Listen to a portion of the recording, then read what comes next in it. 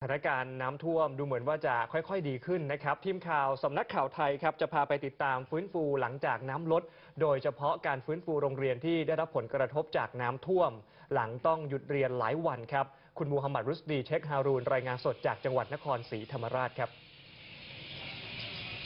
ครับคุณสวิทคุณพิญญพัฒน์ครับที่จังหวัดนครศรีธรรมราชในวันนี้นะครับก็ยังคงมีฝนตกกระจายลงมาบางพื้นที่ แต่ไม่ได้ตกหนักมากนะครับทำให้ประชาชนในพื้นที่ก็คลายความกังวลไปได้ระดับหนึ่งนะครับแต่สิ่งที่ได้รับผลกระทบจากสถานการณ์น้ำท่วมเมื่อ 2 สัปดาห์ที่ผ่านมาก็คือ โรงเรียนหลายแห่งยังไม่พร้อมที่จะเปิดเรียนในวันนี้นะครับถึงแม้ว่าระดับน้ำจะลดลงแล้วครับ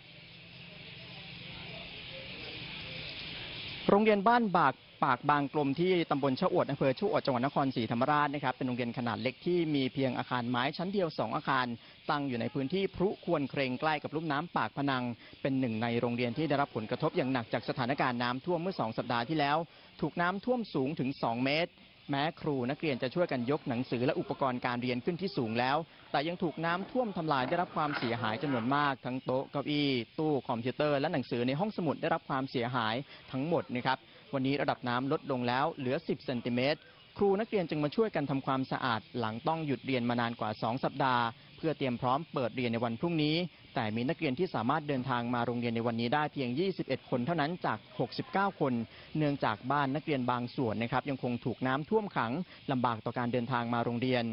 ผู้อำนวยการโรงเรียนจึงอยากร้องร้องขอหน่วยงานที่เกี่ยวข้องนะครับ แก้ปัญหาน้ำท่วมระยะยาว เพราะโรงเรียนมักจะถูกน้ำท่วมซ้ำบ่อยครั้ง กระทบต่อการเรียนของนักเรียนอย่างหลีกเลี่ยงไม่ได้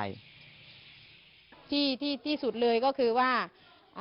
อยากจะได้เป็นอาคารใหม่มากกว่าที่จะแค่ซ่อมแซมค่ะ ซ่อมแซมนี่คือเราจำเป็นต้องซ่อม คือเราจำเป็นต้องใช้ในระยะสั้น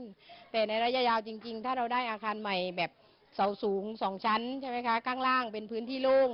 เราก็จะปลอดภัยคือแบบเป็นการแก้ปัญหาระยะยาว เพราะว่าถ้าเราได้อาคารแบบนั้นนะคะของต่างๆ เราก็ไม่ต้องกังวลหนีน้ำท่วมรอดแน่นอน น้ำท่วมสูงมากเลยค่ะนาทีนี้นาของในโรงเรียนเสียหายมากค่ะ นาเราได้มาช่วยกันยกของไหมช่วยค่ะ รู้สึกไม่ค่อยดีค่ะ เวลาไม่โรงเรียนไม่เปิด เราจะได้เราไม่ได้เรียนหนังสือ วันนี้เป็นวันเปิดเรียนวันแรกของโรงเรียนที่ได้รับผลกระทบจากสถานการณ์น้ำท่วมในจังหวัดนครศรีธรรมราช ซึ่งมีจำนวนกว่า 600 แห่งจาก 784 แห่ง หลังสถานการณ์น้ำคลี่คลายลงอย่างต่อเนื่อง แต่ยังมีโรงเรียนอีก 18 แห่งที่ยังไม่พร้อมเปิดเรียนในวันนี้ เพราะอาคารเรียนและอุปกรณ์การเรียนได้รับความเสียหายอย่างหนัก แต่หากนักเรียนต้องหยุดเรียนยาวนานกว่านี้ อาจจะกระทบกับการศึกษาของนักเรียน สำนักงานเขตพื้นที่การศึกษาประถมศึกษานครศรีธรรมราชเขต 3 จึงให้นักเรียนเริ่มเรียนที่โรงเรียนใกล้เคียงก่อนเป็นการชั่วคราว ครั้งแรกก็หยุดเรียนไปสี่ห้าวันแล้ว รอบที่สองก็หยุดเรียนอีกประมาณ 12 วัน รวมแล้วก็เป็น 20 วัน นักเรียนกำลังจะสอบวัดผลโอเน็ตเอ็นทีปลายปีประมาณต้นเดือนกุมภาพันธ์นี้นะครับนั้นนักเรียนจะเรียนไม่ทันครูไม่ได้สอนส่งผลต่อคุณภาพ ดังนั้นท่านก็เลยบัญชาการว่า ให้เขตพื้นที่การศึกษาทุกเขตเนี่ย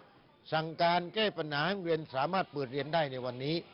ส่วนที่โรงเรียนบ้านชะอวด ซึ่งเป็นโรงเรียนขนาดใหญ่ที่ตั้งขวางคลองชะอวดนะครับก่อนหน้านี้ถูกน้ำท่วมสูง 2.8 เมตรโต๊ะนักเรียนและอุปกรณ์การเรียนได้รับความเสียหายจำนวนมากเช่นกันและได้ฟื้นฟูจนสามารถเปิดเรียนได้ตามปกติแล้ว แม้บางห้องยังขาดโต๊ะเก้าอี้ ซึ่งได้รับความเสียหายจากน้ำท่วมทำให้นักเรียนต้องนั่งเรียนกับพื้น แต่ไม่เป็นอุปสรรคแก่การเรียนของนักเรียน โรงเรียนบ้านเจ้าอวดเนี่ยคือเราประสบถือว่าน้ำท่วมเนี่ยครั้งนี้หนักที่สุดในรอบ 40 ปี เพราะเราตั้งอยู่ในพื้นที่ร่องน้ำลึกของลุ่มน้ำปะพนังอ่าทีนี้เราคุ้นครูมาตั้งแต่วันที่ 7 จนถึงวันนี้ก็เป็นเวลา 10 วัน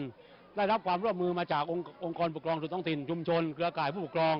ทีนี้การคุ้นครูของเรานี่ใช้เวลาทั้งกลางวันกลางคืน เพื่อที่จะให้การจัดการเรียนการสอนเนี่ยเข้าสู่ภาวะปกติครับ